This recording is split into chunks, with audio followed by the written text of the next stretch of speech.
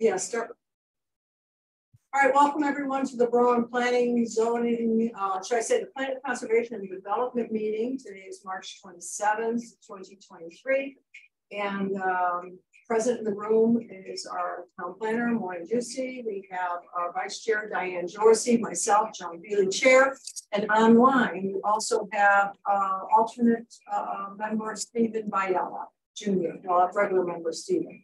So welcome one and all. And because we are going to be fronting for time, let's turn right over to Francisco, Francisco and see um, what we have, where we are. All right, thank you. And and you can see my screen, correct? Yes, well, yeah. Good. Good. Well, let, let's jump right into things. Our agenda this evening is very straightforward. Um, we've, we've had a little bit of uh, feedback from the finance department since we met last month regarding the plan. So I'll, I'll walk you through what we heard from them and how we've responded. Um, and then I'd like to take some time to discuss the cultural resource section of the plan that was distributed to you all. And, and in particular, uh, the farms uh, section of that plan, because that that uh, is something we, we want to get right. We want to make sure it's up to date. And so let, let's talk it through. And then I would like to revisit the future land use map because it was late in the meeting when we covered that last time. Uh, I, am pretty sure you all followed along with the changes that were made, but it, it's a really important map. So let, let's cover that again with a fresh set of eyes. And then we'll talk about our, our next steps because we're, we're getting very close to having the plan finished. So the, the finance department was particularly interested in us um, emphasizing growth as, as a goal um, in whatever way that we could, and basically expansion of the tax base, not just maintenance or diversification, but uh, growth and expansion. So and I, I looked through our strategies, our various action items, and we don't have anything specific. We, we many of the strategies that we do recommend, particularly within the economic development section, really would support growth and expansion of the tax base. Um, but there isn't a single place we call that out, except for our broad overarching goal for economic development, which, as it currently reads, really emphasizes maintaining a, a diversified property tax base. We don't directly say grow or expand. So as it current, currently reads uh, in the blue there at the top, it's foster a stable economy that leverages Berlin's location and commercial zones to provide residents with access to goods, services, and employment opportunities while maintaining a diversified property tax base. And it seems reasonable that we could go a little beyond that and introduce the concept of expanding the property tax base. So uh, we revised it as follows, and I'd like your feedback on that. Uh, so it starts the same, foster a stable economy that leverages Berlin's location and commercial zones to provide residents with access to goods, services, and employment opportunities while expanding and diversifying the town's property tax base. So that's it. And, and I believe that will address the, the interests of the finance department. Um, and I'd like to know what you think of it. Um, me, myself, I do like what's being proposed. And one thing that I had been, did jump out from the report was that um, as I was looking over it, I realized we spent such a large part of our time focused on affordable housing, housing.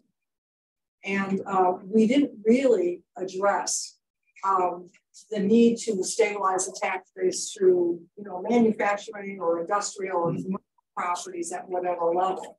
And I think that's something that you really can't lose focus on. Um, is to realize that you know you can grow a town population wise, but you you've got to maintain and grow your commercial as well. So I'm glad that that's in there. Okay. Yeah, I agree. So it's a good point that they caught to make sure that it gets. Yeah, definitely. Okay. Yep. Steve, did you catch all that? Yeah. Yeah, Anything you want to add, Steve? no, I'm good at the moment. All right, thank you. Okay, good. Check on that. Well, yeah, absolutely. Well, let's move forward. So we, we shared with you the, the last um, topic-based section of the plan, uh, cultural resources, section seven. And I'll, I'll go ahead and pull that up, but I wonder if you've had a chance to review it and it, does it look, look good to you? Is the right level of detail, good balance between text and data, maps and images, that, that sort of thing? And let me, let me go pull that up now. We could, we could flip through it together. Well, as we're, as we're flipping through, because I, I want to make sure I get this point in before I have to leave and come back or whatever. Um, when I looked at the historical uh, resources that we have, the homes that were listed, which I think Yeah. was page one hundred, or I don't know on the report which page it is.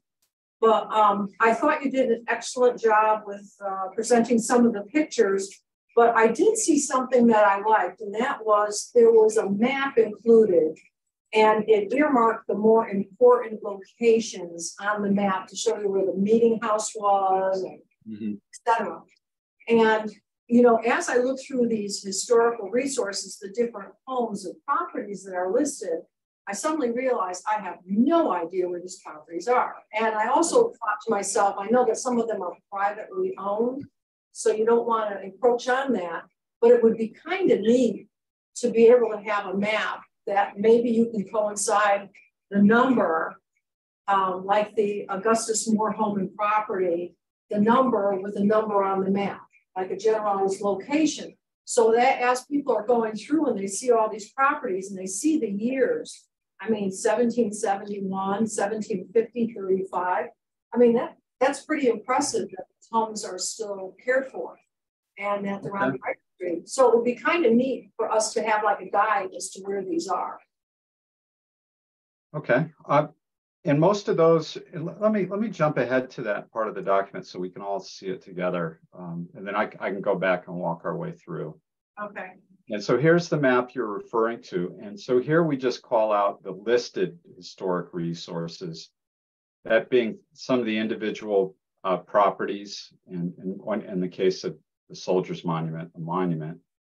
Um, and the Worthington Ridge Historic District, which includes many properties, I think many of which you're referring to. And if I, if I jump ahead, you'll, you'll see it right, uh, right here. Here are the many properties that comprise the Worthington Ridge Yeah. uh, Historic District. So is it these properties you'd be interested in seeing on like an enlar- a map enlargement of that district to see how they fit together in the district? Yeah, perhaps that, yeah, Uh, yeah, I was thinking about those properties and even with the cemeteries. Now, I know that the cemetery commission has done, and, and they have some cemetery headstones that are going back to, oh my God, you know, 16, 1500s or whatever, to the, almost the, the founding fathers of this, of the town. And Okay. the cemeteries are extremely well cared for. The commission's been working hard on cleaning them up, all the debris, new fencing. And they're even going to be restoring the old headstones. They're going to be going cemetery by cemetery. And I think that that is interesting because I know there's a lot of people that drive by them and don't even know that they're there. Or what it is. So, I mean, that's sort of the wealth that enriches the community, I think. But that's my personal opinion. Okay, Yes, I think that'd be cool. all right. Yeah, we had done a map in the past, so I, I'll send the, uh, send you that, Francisco, and we can look at updating. Oh, Good. that's great. That's great, Jim. Thank you. Yeah, we have maps of some of this stuff. One of the things that um kind of always uh. I don't know if it bothers me, I don't know if that's the right word to say, but um. We have so many more historical homes within the town um from an age perspective Right, that um haven't risen necessarily to the level of notoriety. Um, that some of the other homes have uh risen to. um, That they just seem forgotten. Right. And, and, and likely because they're, they either aren't individually listed on the National Register or they're not within the Worthington Ridge Historic District. Yeah. So they're kind of invisible in some ways in that way and invisible to us too. I, I mean, we could go through quite a bit of work to find them, identify them and ascertain you know, whether or not they, they still have any value as structures, historic value. You know, they, some cases, some of these structures may have been completely gutted and remodeled and covered in vinyl siding for all we know. Oh, wow. So in nineteen eighty-five or thereabouts, the town did a historical resources inventory. Yep. And that inventory is in our office with the historic district commission stuff. Um, but I'm wondering if maybe a reference to it. That is, Okay. Yeah, however, Was it, to. was it town-wide or just for the Worthington Ridge District? It was. No, it's townwide. I, now there is, like, I know somebody that owns a house that's clearly very old. And it's not in there, so I don't know that there weren't things missed. Yeah, Um, or maybe there was another reason it wasn't included, maybe it had gotten, you know, modified enough or something that they didn't include it, but, um. But it's as comprehensive as it was able to be at the time, and it's, you know, it's a, it's a, probably a two inch, three ring binder. Filled, right, right. so. um, Okay, So I, I would think that referencing that as a tool, and Yeah. it is a tool that actually I was here a couple of years before I knew it existed, so right. it's good to. To know what resources you have and reference them somewhere, so Yeah. that the next guy in line knows it exists. yeah, and it's, it's very helpful for somebody who may have this on their coffee table as they're looking through it. They'd say, hey, honey, did you know that? Blah, blah, blah.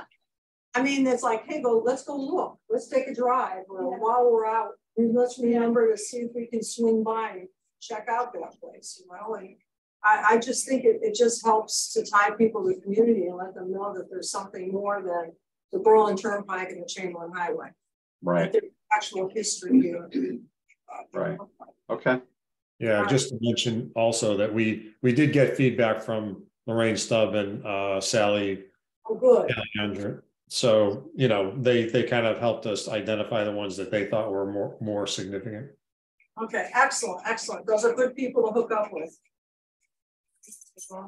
Be right back. okay. All right. So th- this, this section of the document covers a lot of gro- ground because cultural resources are, are, are pretty, it's a pretty broad class of resources. And so we, we try to take a pretty wide view of it. It- It's not just historic properties. Um, and, and so the, the little graphic on the left, um, you know, tries to give you an overview of, of the kind of the, the area it is that we're covering. And, and the purpose of this is ensure these resources are continued to, they, they continue to be protected and are, uh, their support uh, is continued going forward over the next decade because these resources are incredibly important to your identity as a community. Um, and while you, you can't necessarily quantify their value to the community, um, I think we can all we all appreciate the fact that they do add a tremendous amount of value to Berlin, and, and by Berlin having these resources, it's a more desirable place to live, which improves property values and your tax base, and there's there's all sorts of positive implications to protecting these resources and continuing to support them. So it, it's important to document them in this plan as best we can. And that includes everything from cultural and social organizations and events, uh, such as the Berlin Fair, to your museums and libraries, to your farms. And you know, we already talked a little bit about this monuments, markers, cemeteries, and other historic resources. So that, that's exactly the, the areas that we cover in this section of the plan. Museums and libraries, any questions or comments on this? And, and, you know, we've, we, it's about a year ago now, uh, more than a year ago because we covered this ground in January that we went through it for the first time after we did all, all of our existing conditions analysis. So I'm I'm not trying to repeat that, but I do want to make sure that you know we're accurately representing the resources that you have in, in the plan itself. So let let me know if we're we're you know saying it right, if we're capturing the big ideas here, and and um, if we're missing anything. So. Uh, anything on libraries or museums you'd like to comment on? I don't have any comments. I don't, Steve, do you have comments at all? No. I like our libraries. Okay, good.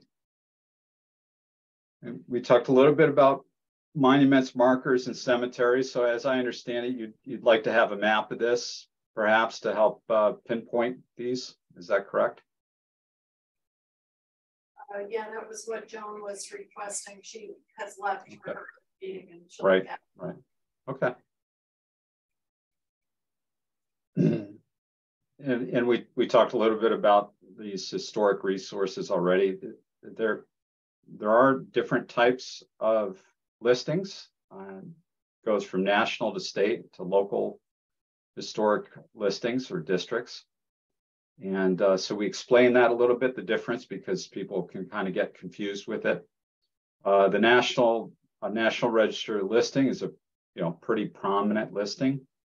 Uh, that being said, it doesn't give the town a lot of a lot of power to control what happens to those properties. Um, it's really a designation that enables a property owner to get some tax breaks on improvements and restoration and kind of binds them to a certain level of restoration. Um, but other than that, it doesn't give the town a lot of power to protect these properties. The state register is really just a list. It, it doesn't convey any, any particular advantages. The state just puts together a list of national register and local historic properties.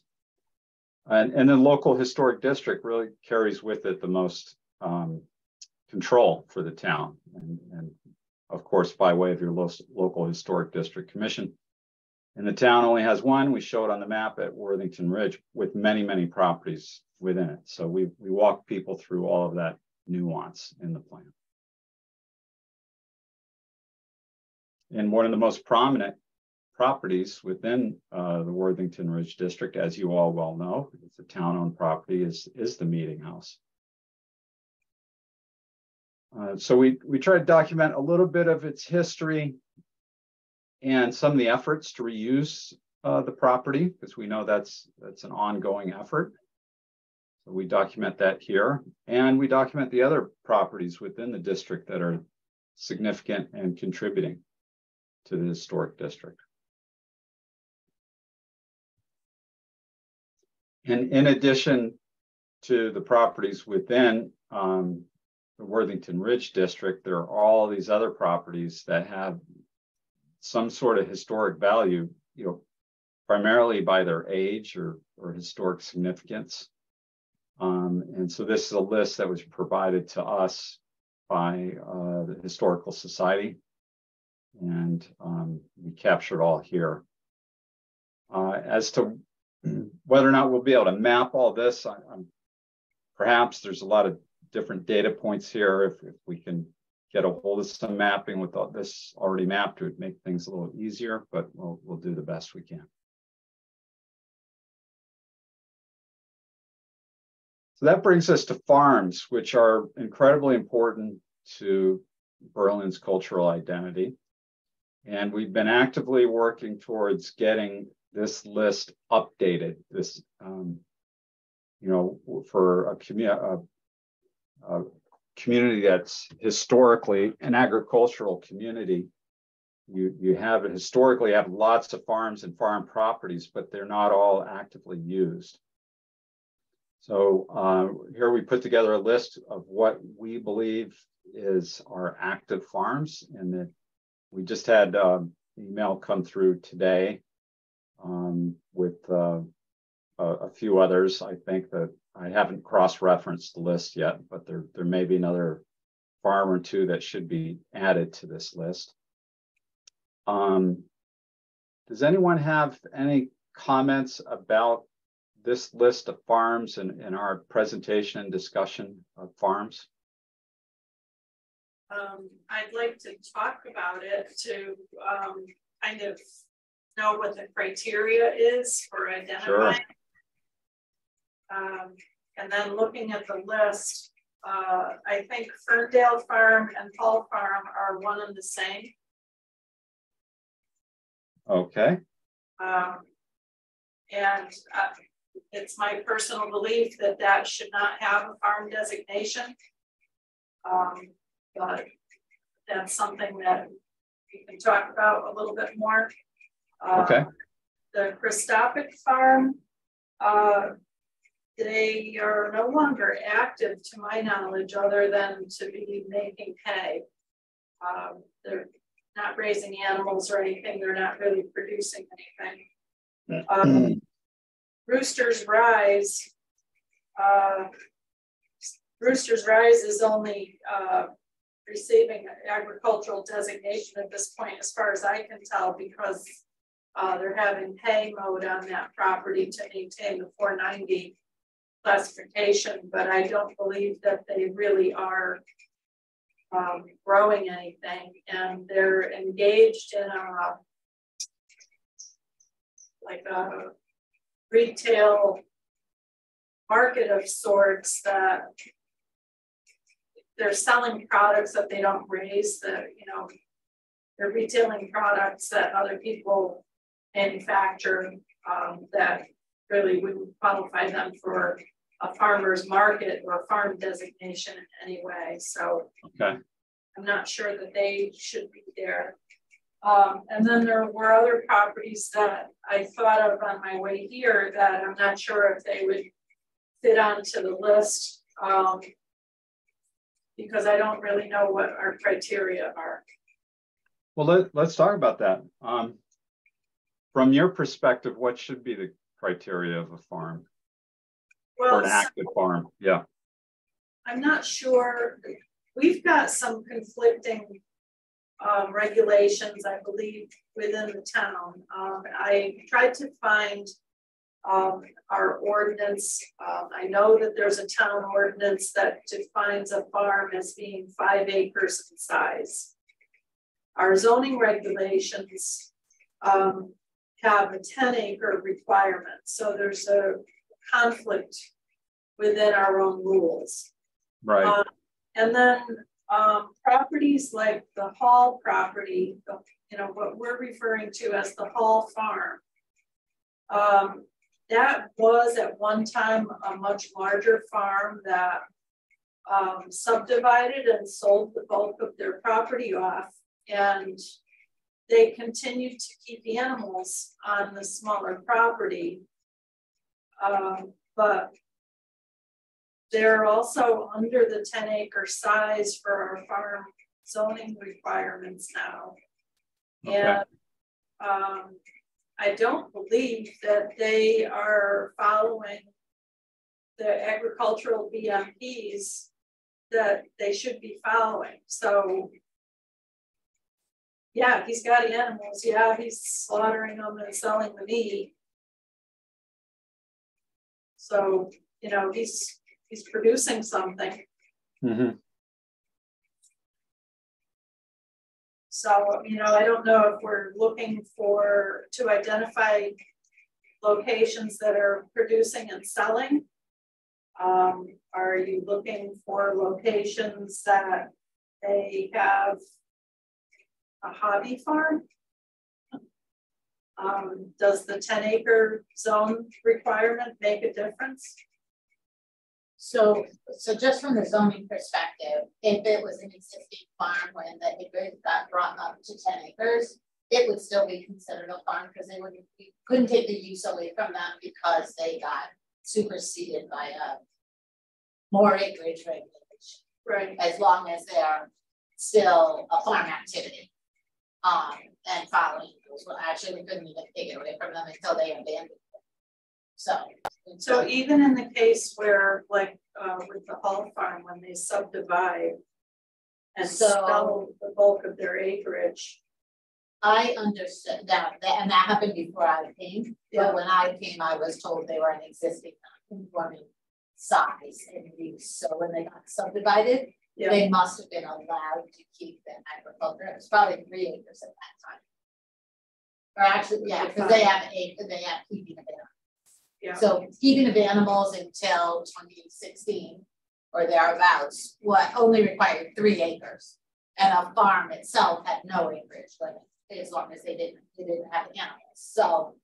Um, Well, by ordinance, there's the five. yeah, acres. I'm, I'm looking for it, I'm actually searching now, because I I wasn't able to find it by going through the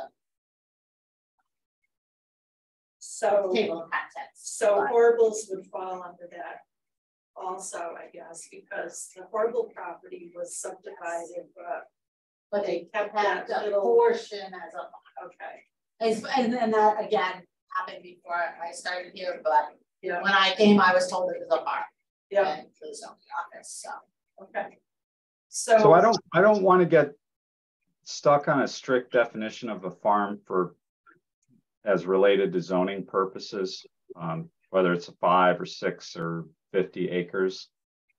Um, I'm more interested in, in farming from, you know, eh, is it really an active use? Um, is it something that's just fallow? Is it truly just a hobby farm? People are just growing for the, their own personal use? Or is it something that's actively producing some sort of crop or, or animal product?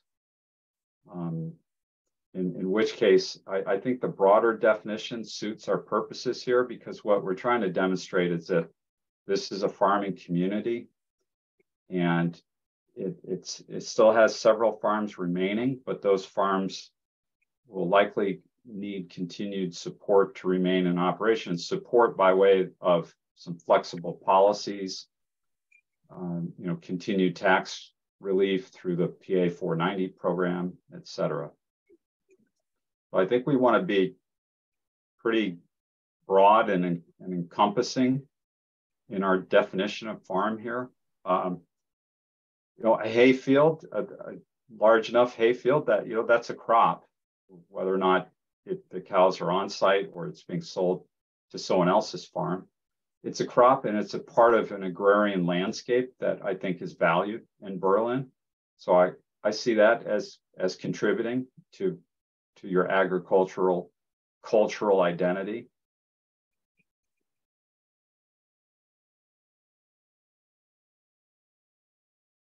I think a lot of the properties that um. You might find in hay production now are. Um, you know, there's only a few people in town that have the equipment to make the hay. Um, the properties themselves are not owned necessarily by the, the people that are making the hay. Um, and so aren't necessarily identified by a, a farm name. Um, Right. You might want to include a sentence that um, identifies that there were, uh, you know, that open acreage. Yeah. uh, Mains that's, um, being managed agriculturally for hay production or something along those lines. Okay. All right, There's, there are farms that come to mind for me, uh, but I really don't know if they're um, actually producing at this point. Um, but the Skol- Skolnick family with their horse boarding off of Kensington Road. Um, narrow with its little, what, what, what, uh, is the name of the family again? Can you spell that for me? uh, the first one is Skolnick. Yeah. Um, I think it's, I'm not certain of the spelling, but S K O L Okay, N I K. Uh, they're at uh, Kensington Road, all right, uh, Nero's have what I would call a hobby farm. They've got animals that are um, kept in a barn. Um, they're, they're not selling anything other than eggs, to my knowledge. okay, Um, That's Spruce Brook, right? Um, Savage Hill. Yeah, Savage Hill. Savage Hill, that's on. Um, Okay, over towards East Berlin. Um, they're probably only producing hay, but the old Meisterling and Backiel farms. Um. They used to have dairy cows there. I don't know if they're doing anything more than hay. Um, Backiel has an excavation business, so maybe. um, Maybe he's excavating, I don't know. Backiel actually has uh, beef cattle. Does? How do you spell that heel? uh, B A C K I E L. Meisterling is up where Beckfields are. and where's the Pacquiao farm? Um, I don't know the street name. It's where the, Steve, do you know the street name? Yeah, it is. Um, oh, geez, I'm drawing a blank. Um, Where the turkey shoot is off of, uh, like kind of across from White Oak Drive. Whatever that little side street is. Beckley Mill Road. Beckley Mills. Okay, Beckley Mills. Beckley and Mill Road, yeah, okay. Beckley No, Mill. Beckley Mill Road. Beckley Mill Yeah. Road. Two words. Oh, okay, all right, Um, The, All right. uh. Chris and Sandy Coppola with their horses and horse boarding, I think. Uh, maybe you wanna double check with them. I think they'd like to be a farm. Um, and then, uh, I don't know the property owners, but, uh, twenty-three eleven Chamberlain Highway. Um, they've been doing a lot of renovations, they're raising goats there now. Um, and then the next property north of them, right at the crest of the hill. Um, the guy, I think you've been talking to Jim about, uh, creating parking for the Blue Trail access. That's all Um, part of, uh, what was Better It used to It's be all Better. part of the same Better so that should be farm. Yeah, I whoever the guy is, I don't know the name of Uh-huh. that farm now, I know his but Right. he's. name. Um, I, I got his name. But, and that's not him, as farm, because that No. should have been farm. I'm sure it's one ninety. okay, So those are what came to mind for me. okay. So of what we have on the list currently, what would you argue is definitely not a farm or should not be on the list, uh, besides Ferndale and Hall being combined, but they should, should they actually be on the list? Yeah, I was, Diane, I was thinking Hall, I was thinking Allen Hall on the blueberries on uh Southington Road. Oh, he's not doing blueberries anymore. Oh, see, I'm living in the past. Uh, Okay, So we could take that one off. Yeah, you All right. got it. Um, Um. And the um Connecticut grows, like they're out of business, I guess now officially, right? which, Foreclosure. which Connecticut- farm? Connecticut grows on Chamberlain Highway. Is it even there? It used, it's not on the list. Oh, it's not. Was, did they take over Sunny Border? No, they took over what used to be the old Johnson Garden Center. Oh, okay, all right, yeah, we didn't have not them anyway, It may not have been listed. okay, yeah, we didn't have them, Um, but Christophic, Christophic is not really actively farming. but. But they have haymaking on their property, correct? Yeah, I, um. I think the haymaking is somebody else making the hay, Right, on, on their property, cutting it for them, the same as, the same as the Right. case with Rooster's Rise. okay, All right. They- so, So um, Rooster's Rise is, do they consider the? Is Rooster's Rise both farms, both pieces of property? But they definitely have growing fields on the brick farmhouse. The one without the barn. Yeah, but I don't think they're actually selling anything. Oh, I think they do farm.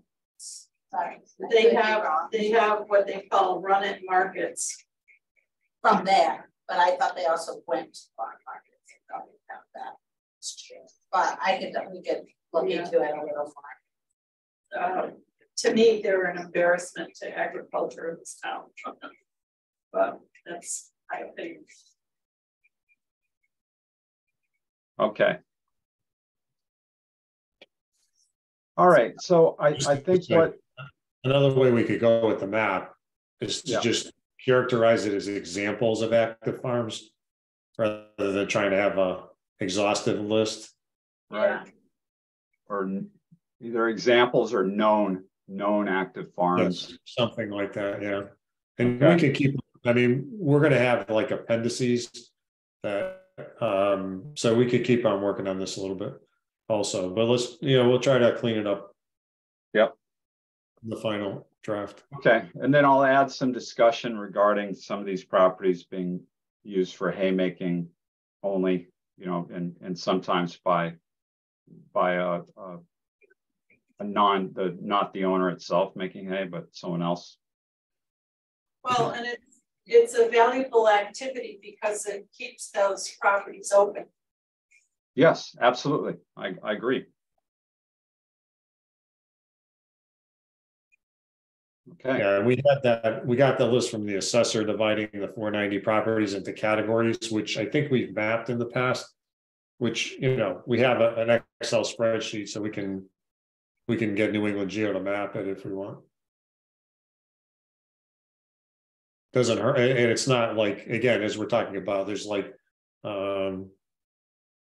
Different definitions, but at least it gives you, it gives you some kind of delineation.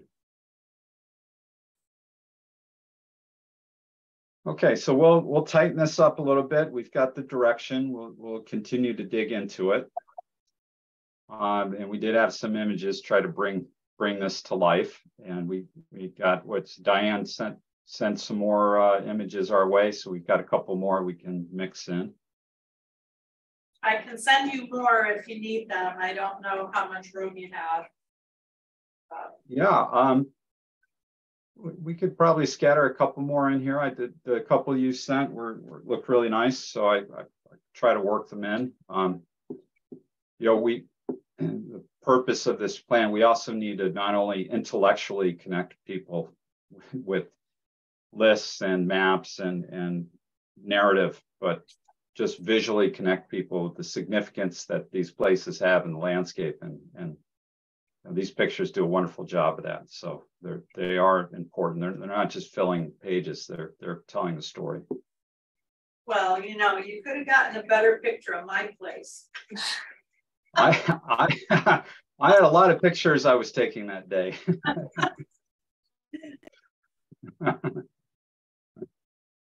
it, it looks like a farm. Well, I'm embarrassed that the greenhouse is sun covered. Yeah, well, you know, that's, that's the nature of farming. At least there's no Unfortunately, that's true. plastic flapping. It is flapping. Oh, that's it the is? problem. Oh, I couldn't see the plastic flapping. I thought it was just gone. No, plastic's flapping. Oops. Okay, and then all of this you've seen, we're once again um, summarizing our, our recommended strategies and actions here. Did, does anyone have any more comments regarding what we're recommending? We've been through this a few times already, but happy to receive any comments or questions. I think we're in good shape. Okay. All right, great. Uh, so let me exit, exit out of here and then go back to our presentation uh, because we, we want to revisit future land use. Uh, have any of you had an opportunity to sit with this a little bit more? Any questions since we last reviewed this at all? And I'll walk you through the changes that we reviewed last time that will give you a little more insight into some of the work that's been done. Um, the only thing that comes to mind for me is Yep. the, um. The POD zone along Chamberlain Highway that, um. There seems to be a lot of interest in most recently. Um. I think. I think if you ask people, the expectation of, um, citizens of the town is that that area would never be developed. And yet. Those properties are all privately held. And. Um, if it is in fact the intent of the town. To not develop that area. Um, I think the town should, uh, or perhaps the recommendation of the P O C D should be that the town consider either purchasing that property outright and adding it to our open space, um, or negotiate, um, purchase of development rights.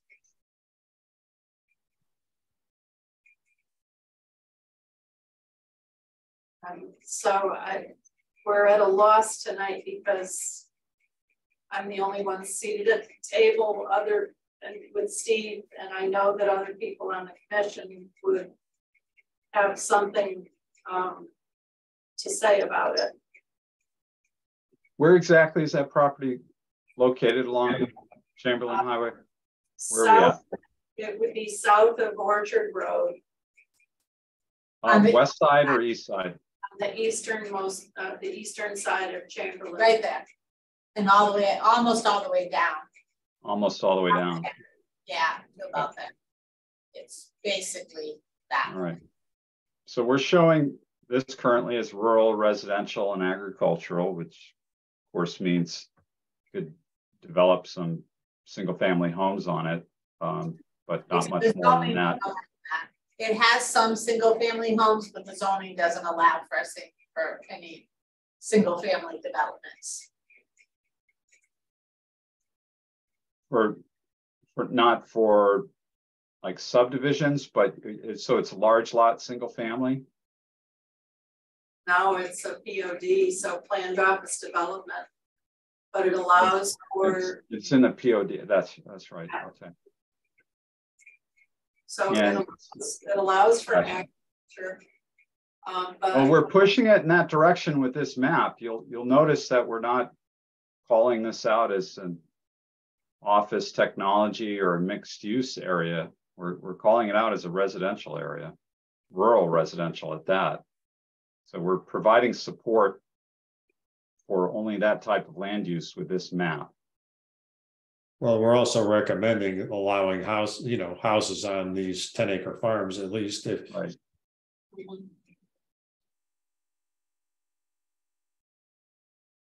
So we have a foundation for that here, the, the. To your point, though. If you re- really wanted to get specific about it, um. We would need to call out somewhere within our recommendations. And, and we'd have to figure out which section it's most appropriate in. Would, would be a, a specific, specific action to. Rezone this area as large lot, single family residential, comparable to what's around it. But we, Yeah. we obviously need a good part of the committee to, to be on, on board with that and, and, um, we're, we're definitely laying the foundation for that with the future land use map because any changes to the zoning are supposed to be consistent with what this is prescribing. So this is the first step. The question is whether or not we can take the next step by recommending that specific change to the zoning in, in, in our plan. I guess what I'm, what I'm hearing Diane say is that more like uh we have in the open space areas, we call out. You know, areas for connections or possible acquisitions. Then, and we have language about saving farms, but should we put this area specifically in? Yep. As a recommended area for consideration for acquisition or acquisition of development rights in order to. Preserve the farming and rural character in that area.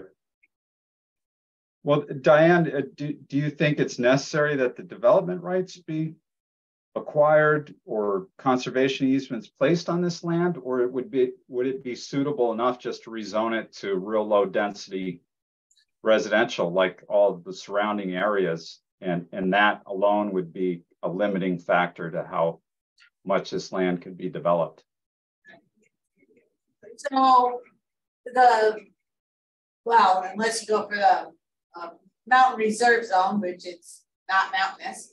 Um, but the, our zoning only goes up to two acres. R eighty-six zoning is what we Right. currently have as our rules. And I'm gonna say it was seven, eight years ago. Rezoning that to R eighty-six failed It did.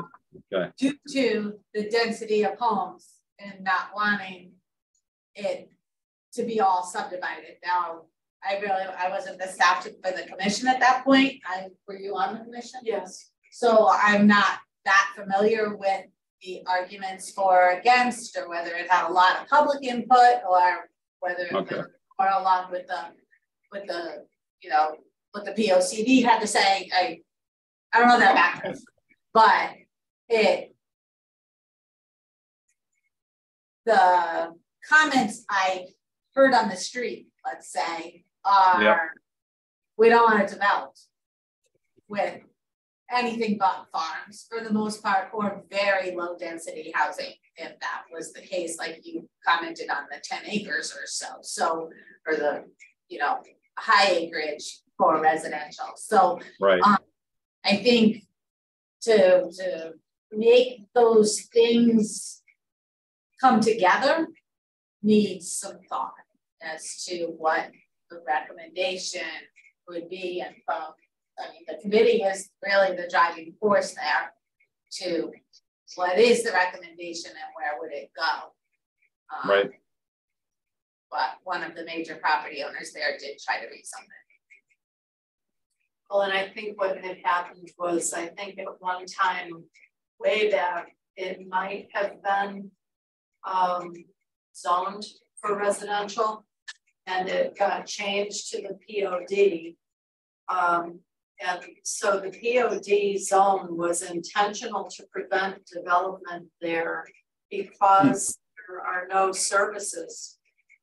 There's no, okay, so. that's an interesting approach. Very interesting approach.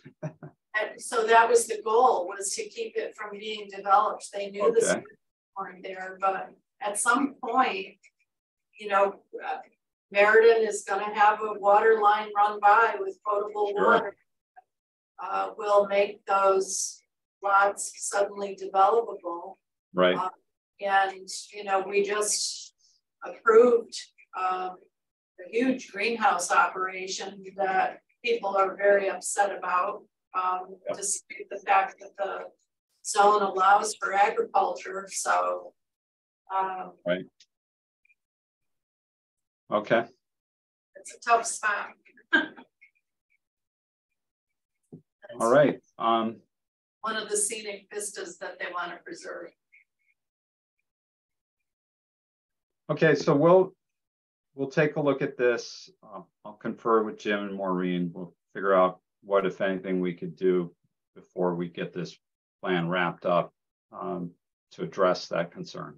Okay. All right, let, let's walk walk through some of the revisions that were made. And the, these were made over a month ago. I, I, I walked you all through them at our last meeting, but it was a lot. We covered a lot of ground that evening and it was pretty late by the time we got to it. So let's go through it once again. Up in the northeast corner, we uh, changed a couple of parcels that we had classified as office technology. Uh, we changed that over to residential and you could see uh, it was blue before and now those two parcels are, are green. And that's uh, rural, residential, and agricultural. Uh, closer to the center of town, Kensington, um, we made some pretty minor changes at the bottom. Uh, we had an area that's zoned industrial. We had a class, or, or vice versa. It, um, it, it was, we had it grouped as industrial and, but it's, there's actually, it's developed as residential. Um, even though it was originally zoned industrial, so we, we show that it is in fact residential. Hatchery Brook Homes, yeah. Yes, thank you, thank you. Uh, up here, there's across from the mill building, there's a lot owned by the mill building that's intended for higher density development. And so we show it as such, as medium density development. We changed the Ferndale Plaza area from mixed use, just back over to commercial, because uh, we had some pushback on that. Folks had some concerns about that. Um, o- over here, we made some uh, very minor changes to the classification of these parcels. Once again, we have some residential development in, in the- this area, so we show it as, as residential. Um, Another older mill building here that's entirely residential. And we, yeah, thanks. And we extend the Kensington Village, the Village District, just north by a couple parcels to, to meet it. Right, So tho- those are all fairly minor changes, and if I scroll down to the down here, we, um, Did you we talk talk- about the um. Deming Road Industrial? Question, Oh, yeah, uh, sorry, I skipped right over that. Um. I highlighted these areas because we wanted to talk about them. Um, up at the The- yellow circle too. Yeah. Right, uh, so Deming Road. We're, we're currently showing these as industrial, zone industrial. There, there are, um. Some homes in this area. Uh. You know, some marginal structured, marginal properties. Now, we are, we are trying to protect industrial land wherever we can. The area is zone industrial, which is why we show it industrial. However, they have current residential uses. But they're not high value properties and it's pretty easy to imagine those being acquired, redeveloped for industrial use. So we show it as industrial. However, they are adjacent to moderate density residential. So we have a choice of expanding that moderate density residential to the west or keeping this as is. Yeah, the trailer parks there obviously too. Yeah, the trailer park included.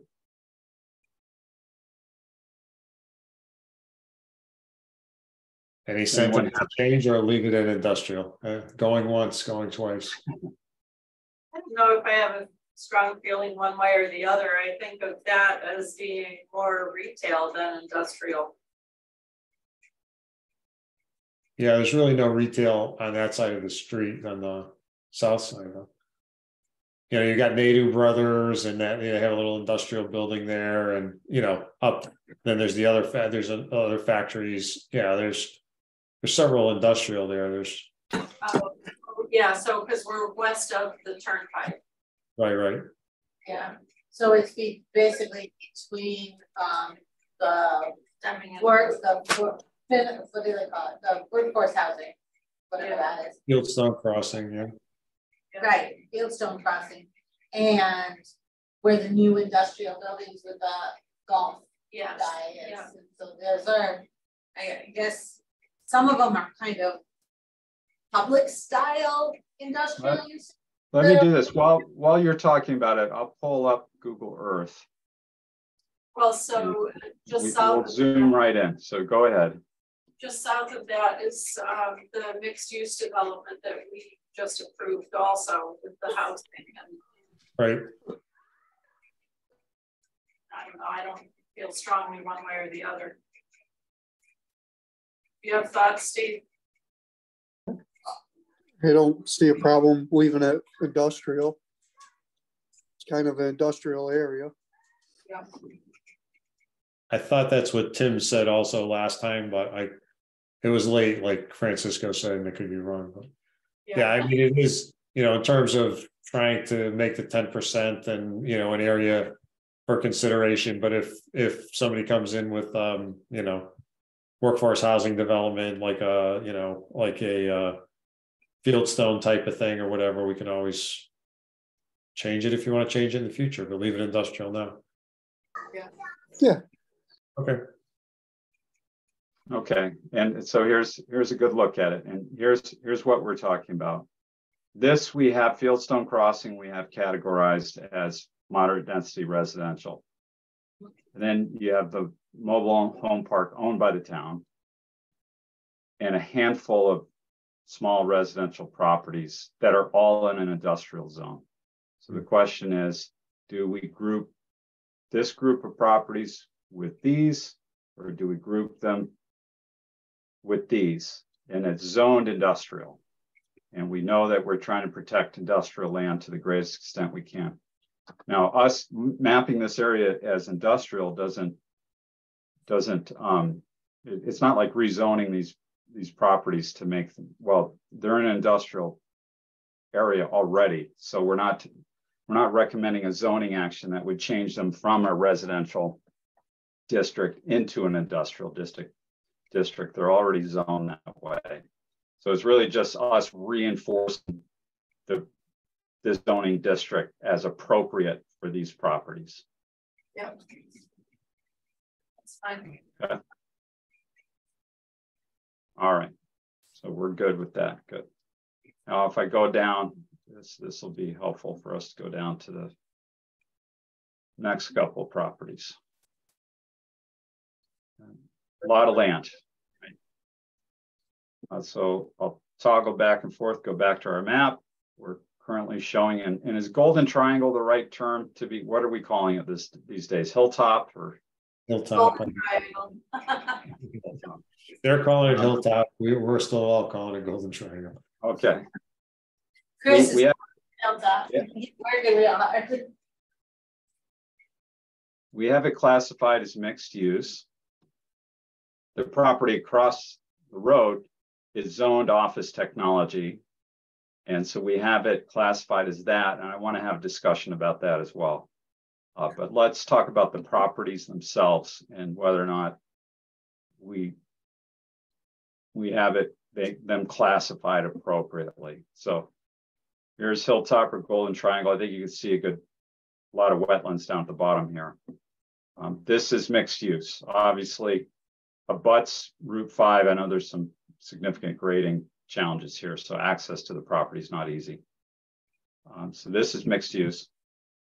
This property currently zoned as office technology, which allows both residential and office development.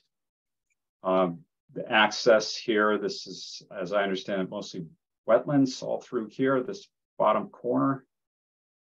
Uh, so no direct access from Mill Street would come off, access would come off Beckley Road, which is a residential street, a small lot residential. Um, so do we want to recommend anything else for this property other than more or less what it is currently zoned for, which is residential and office? Is off, is residential allowed in the office technology? Or am I, am I saying that incorrectly? Office, I'm, I'm sorry. Office and it's like light industrial technology type office. Yeah, I think it's OT, but if there's OT and there's OT two in terms of zones and I don't think the residential, Maureen, correct me if I'm wrong, but I don't think, No, I was convinced, I was confusing with OT two, I forgot about OT two. I was so thinking. no residential now there. Okay, yeah, sorry about that.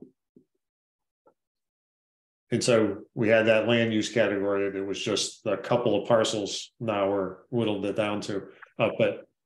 You know, Eversource and here. And. Right. Yeah, I mean, again, Francisco and I and Maureen, we talked about it, it's like, you know, it looks like there might be access from Mill Street, which. But because of the wetlands, I mean, we've looked at that before and. It's really gonna be tough to get access from Mill Street, so they'd have to come off of Beckley. So I don't know, I just, I'll throw it out there from, you know, what I, I- what I would suggest is that we consider making it a, you know, in terms of land use, make it mixed use. And, you know, then the only thing it would, in the office technology category would be Eversource headquarters, and then I think it would be kind of overall consistent, but, um, I don't know what people, I know, you know, what people think about that area. It's an in-betweener. And so that's exactly what Jim's talking about. We have one area here. And this, and that's all we have left for office technology, and it, it's just a very odd class. I, think everything else is pretty intuitive with respect to land use classes. And then we have this office technology class, which for lack of a better name, that's the name of the zoning district, and that's what we're using. Um, but uh, we think, we don't think it's the best, the best practice just to refer to the zoning district, because then it kind of locks it in with and conflates it with the zoning district itself. And it might be better to establish a more um, intuitive classification for, for these areas. The question is, you know, what should the name be? And, and is this area in fact, should, should it be in that group or should it look more like this area in terms of its potential future use? And again, may, may, saying mixed use doesn't mean it has to be the same scale or, you know, kind of uh, density or mixture of uses, but just mixed use. So, Over the churches, Yeah, it's the church, it's an open area, it's behind Golden the house. No, it's north side of three seventy-two. So. See where the number three seventy-two is on the map, the blue section is what we're talking about. all right, so you're talking about the beach. Next to the church, but Bethany and Common, behind, Bethany, yes, behind. uh, So the westernmost point is mostly wetland. The eastern side is houses. It's The office technology zone, so what's, what's the purple across the street where the golden triangle is? What is that? that's mixed use. the pink, yeah, Yeah, this, this pink color is mixed use. That's So mixed. commercial, residential, could be office, commercial, could be retail, residential. Jim, is that the, uh, is that the gold, that's the golden triangle, that's a mixed use? well, that's where, that's where we're, we're categorizing at this point.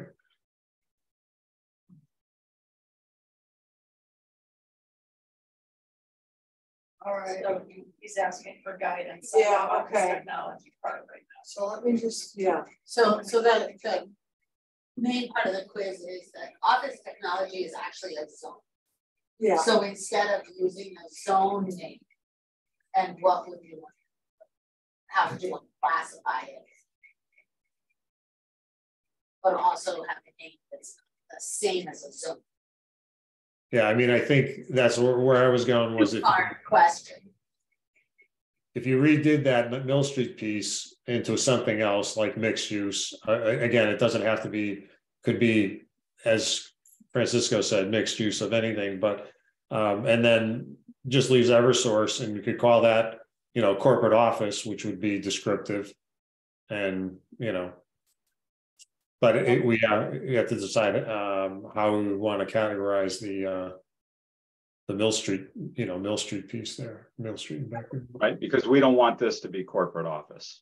No, I mean, it's not realistic. We'd like it to be, but it's small. Yeah. What is it, um, where the bio brick guys are? The other side, That's the Industrial. side. yeah, industrial, I believe. Yes. It's that purple on the right hand side of that Beckley, just below the orange, right? North Yeah, above, above go Route nine, above that, above Route nine. just yeah. gonna keep going. Right, is it a little further? It's up there, isn't it? Yeah, it's, it's right, you know, right below that, no, not that far, further down. Yeah, just above Route nine, right there, right there, right there. Oh, okay, And then, you know, of course, that's, you got the North uh Eversource transformer station. On Beckley, you got all those uh power lines cutting through there. You've got the Mattabassett pipeline cutting through there. So um, there's a lot going on over there. And Eversource. owns a lot of that. Well, so you've already got residential use there. So Probably makes the most sense to have it be mixed use. It would blend the best with the church. And, you know, allow residences still. Kind of combine with the golden triangle.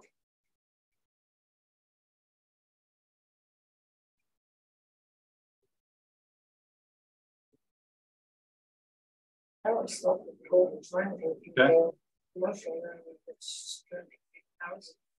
Well, yeah, so the mixed use for the golden triangle, I guess is what's perplexing on us. Yeah, I know, I know. Can you hear that? I guess Yeah, we're, so yeah, I'm sorry, it's just that I, you know, I'm looking at turning that over to mixed use.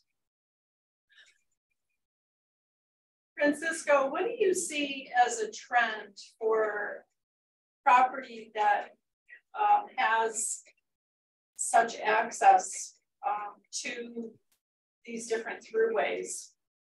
Yeah. Right. Because I mean, that's what makes it golden. Yeah, A- ab- absolutely. Um, the, so what, what makes this property really advantageous for mixed use development is the fact that it has great visibility from both highways. Um, so for commercial use, it's great. However, we know the market right now is particularly strong for residential and mixed use development, and you are abutting some residential areas. So by by enabling either or both types of development, um, you're you're not you're not requiring it to be mixed use. You're just allowing for residential or commercial or mixed. You're allowing for that mixed. You're providing the most flexibility as possible, which would help improve the feasibility of the redevelopment of the of, of the, or the development of this site.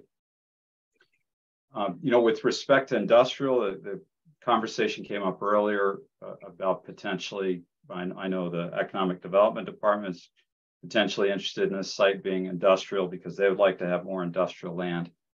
The t- topography does not necessarily favor those uses, which require large build large footprint buildings, large areas, um, and it, it's not a great match with the residential properties surrounding. Uh, so I think they're they're comfortable with a mixed use scenario because they're having some commercial development helps to grow and diversify the tax base. Uh, and I think they would, from an economic development perspective, not want to see this area be exclusively residential. Uh, so it puts mixed use right in that viable spot from a market perspective and from the, the town's perspective with respect to the economic value of these properties. And so with a mixed use would um, something um, like the medical research and uh, uh, medical office buildings, things like that, would that be um, something that would be possible in those areas? Yeah, let, let, well, let's skip ahead to our description of mixed use. Um, these areas are intended to accommodate mixed use development with existing sewer and water service areas. They allow for a medium to high density of commercial, residential uses and institutional uses. So commercial use would, in, would potentially include uh, office, medical office. It, it's a fairly broad classification that we have, but notably absent from it is are industrial uses or exclusively residential uses.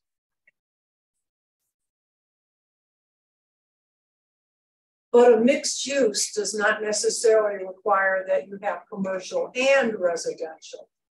So if somebody came in, if this was mixed use, if somebody came in and said, I do want to do a spray of offices that are like surgical, you know, on-site, uh, you know, medical buildings, they don't necessarily have to put housing.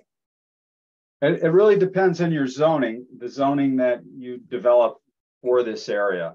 And right now, we're just trying to lay the foundation for any future zoning work by pointing pointing the town in the right direction with respect to what you know what the plan recommends. And by recommending mixed use enables you to do provide support for you to do some zoning work to figure out whether or not that would be a, a requirement like along along the berlin turnpike with the btd where you have some requirements for uh, residential development along with commercial development Is it possible to have a commercial zone that has an, a, s- a special permit application within that for housing? In other words, so Yeah. taking the same property, you have basically a mixed use zone. However, uh, your primary is gonna be commercial. But if Yes. you Decide to go and propose housing for the same area, that portion would be a special permit held to a higher standard, so you don't get these. um,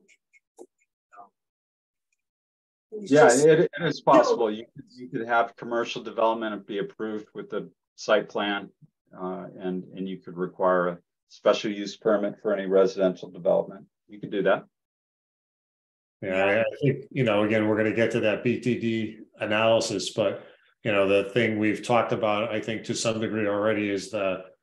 That there was not a very strong requirement for commercial, which, you know, you can certainly, you can create the balance. What do you, however you think it's appropriate for that location. I mean, we could require a certain percentage of commercial. You know, we've been talking like ten and twenty percent, like twenty percent, 10, 20 percent in the T, in the TOD area, it might be a lot higher here. But though, that, that's a kind of detail we can discuss. But the kind, the overall concept is flexible, I think. Yeah, I, I just wanna make sure that we stay away from, you know, geez, no, we're gonna give you, you know, two hundred units of housing and they're all gonna be like two blocks. Just two blocks in, inside of this thing, and I, I really.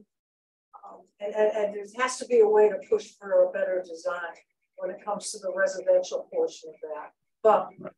Maybe that's deeper in the regulation. Okay. I have about four minutes left before I have to start another meeting. Okay, uh, Hosting and running that meeting, so I, I need to jump, jump in at, on time. But we, we're just about there. Um, future land use category, we did, and we covered this last time, we did update the neighbor, neighborhood residential description to specify senior housing developments.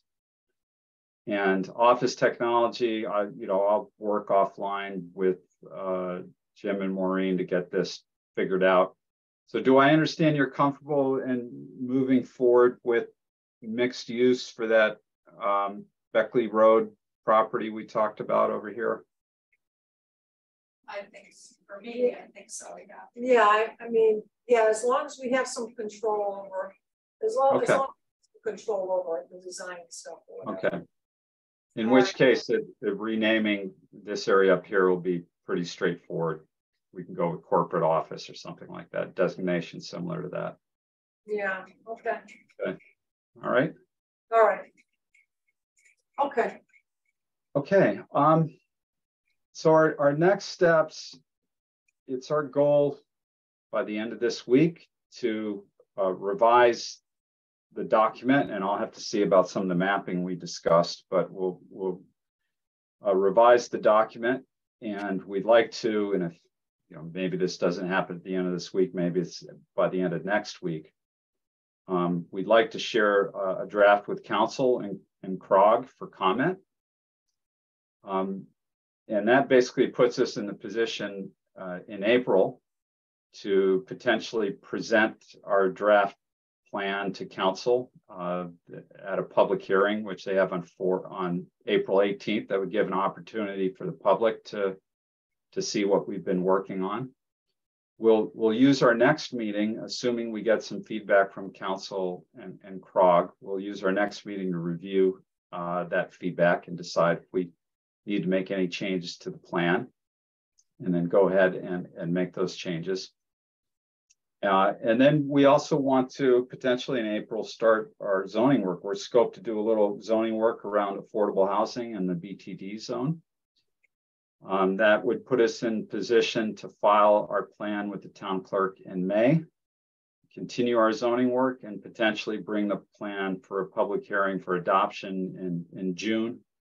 Uh, potentially at June eighth or June fifteenth meetings. Um, Maureen's trying to work on the calendar. It's, uh, I understand it's a pretty busy month, busy overall, but we're trying to figure out how to slot that in. Uh, so that we have a process that we need to follow. Uh, if we get this plan wrapped up by March 31st and shared with council commission, we could hold our public hearing no earlier than June 5th because of the statutory requirements. So, which is why it's critical we we make these decisions and get things wrapped up. And so that puts us in kind of a quiet period once we submit the plan to people for comment, and that will allow us to focus a little bit on on zoning and get that process launched. And, and I really do think we, we should take this to a public hearing in June before everyone disappears for the summer. Our, our next meeting, April 27th, uh, for Thursday at 5.30 p.m. And with that said, uh, I have to jump off, so if you want to adjourn the meeting or continue, that that's your business, but my presentation is done. Okay, Uh, so thank you very much. I'll follow up on everything we discussed this evening. okay. Thank you. Thank you. Thanks for All Thanks right, for your patience. Have a good night. Yeah, thanks, everyone. Bye. Bye for now. Have a good one. Thanks, Steve. Good night, Steve. Thank you, Steve. So I'm not. Wait. Oh, you guys are done? We're adjourning? Okay. We're talking, we're Okay. talking dates right now, I think. Yeah, we're just trying to figure out date. April twenty-seventh is the date. of our April next meeting. twenty seventh is the next meeting. That would be the fourth. Thursday, Which is Yeah. what we typically do. Yeah, Steve, so you know, April twenty-seventh, he's talking about being our next meeting. Okay. Still be here, I'm not sure. I can make it to the- Good, I need to get out of here. All right, that's for, that's, that's at five thirty, Steve. Okay. All righty, and then, um, I'm gonna be out of town the first week of June. I mean, I'm not leaving till Friday after our meeting, so I don't want to be here to have to handle another plans. I don't, So the eighth, you'd be away. uh, the eighth, I will be away. So one of the reasons for the June meeting, um, so the planning and zoning commission has a meeting on the first and the fifteenth. But school's out, should be out the week of the fifteenth. So we were wondering if it would be more appropriate to try to have a public hearing on adoption, adopting the plan. On the fifteenth, before the fifteenth, before people left because school was out. So that's why we were throwing out the eighth. but it- For for the chair, that's a little bit of a Yeah, I'm leaving, of on- a yeah, I'm leaving on the second, coming back on the ninth. So Jim, we thought the first of June was too soon, if if I remember our conversation correctly. Is that planning and zoning? Sound like the, to the sixty-five day issue too, you know? Right, we had to hit the sixty-five days, so we'll do some more counting of days in the next, I'm sure Jim and Francisco will be emailing me probably tonight. Because I And we'll that you, figure out more till first, because it's the first Thursday of the month. Right, well, it was a matter of whether we combine the public hearing for the P O C D onto one of your regular meeting nights, or we have a dedicated for it. Well, And the reason we, I like. The reason we considered the, primarily, the special night of the eighth was because school was out by the next week and what public's gonna be here. The first Yeah. week school gets out, a town empties out, that's just, well, I'm available on the first, because I plan to be at planning and zoning. but you I'm would not be available- available. No, I don't know, Okay. I'll be back in town by then, Okay, because we're driving this time. Well, so the public hearing usually is open for more than one meeting. I don't think it was that. I think we did just one public hearing.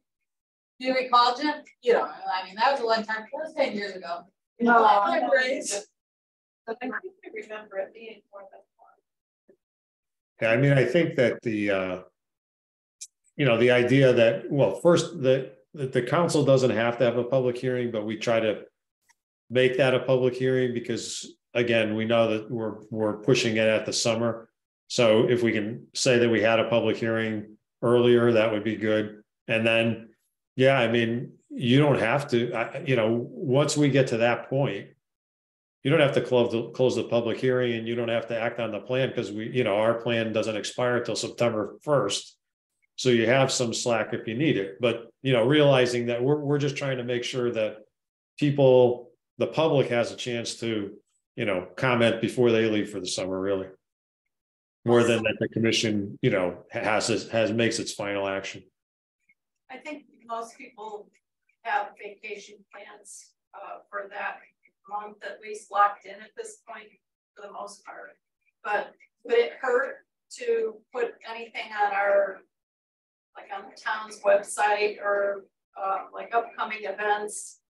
Uh, watch for, you know, the announcement of the public hearing on the POCD, just so that people don't um, suddenly, yeah, or suddenly say that, you know, we're trying to sneak something through because we know everybody's going to be on vacation. And so that's why we're doing it then. You know, yeah. that's human nature. That's people are just going to be. I mean, we're that's why we're having the meeting, the you know, the the council meeting in April, but or you know, but then we can I don't know, Maury, we could talk about this, but I mean, I suppose we can have another presentation, you know, in May even, right? And, yeah. and, but we can't call it the public hearing because we don't have all the, we wouldn't have the 65 days at that point. Okay, that's call it informational session. Yeah. One of the reasons to have the, like you said, the input at the town council to have the public be able to, and then tweaks can be made in that time period as well. Yeah. Um, yeah, substantial, do substantial things, but you can change, you know. Well, because once we're in public hearing, there's not much we can do to change it, right? Right. Um, you can change. Yeah, you, want, you want your draft plan to be pretty close, pretty to close to the final document yeah. before it goes to POs up to the planning zoning commission's public hearing for sure because so we have to send it to Prague and town council, like Jim said, would be 65 days. Yeah. And that's it's April, you know, yeah. we're 65 days lands you in June. So it's just the nature. So we'll count some days and we'll figure it out. Right? Yeah. And then go yeah. back. Now we know what your constraints are and that's important. And again, like Jim said, just because the public hearing happens doesn't mean your deliberation has to happen that same night. Yeah. You know, and your adoption of it, um, that can that can be separate from the public hearing. Public hearing, so you didn't hear a comment. So. All right. Okay. Sounds good. Sounds good. We had, we had all that time and what happened? Yeah, I know. Not to the end, like Yeah. always, right? It always is that way, no matter how much you prepare. Right. All righty, well, I think that that's just about it, so let's adjourn at seven oh eight two. All right, so good night, everyone. oh, motion to adjourn. I'll make that motion. Okay, Steve, will you second, please? I'll second it. Thank you, we don't. Thank you. Have a good night. In Favor, aye, those opposed, so moved. Aye. Good night, everyone. Thank you. Good night.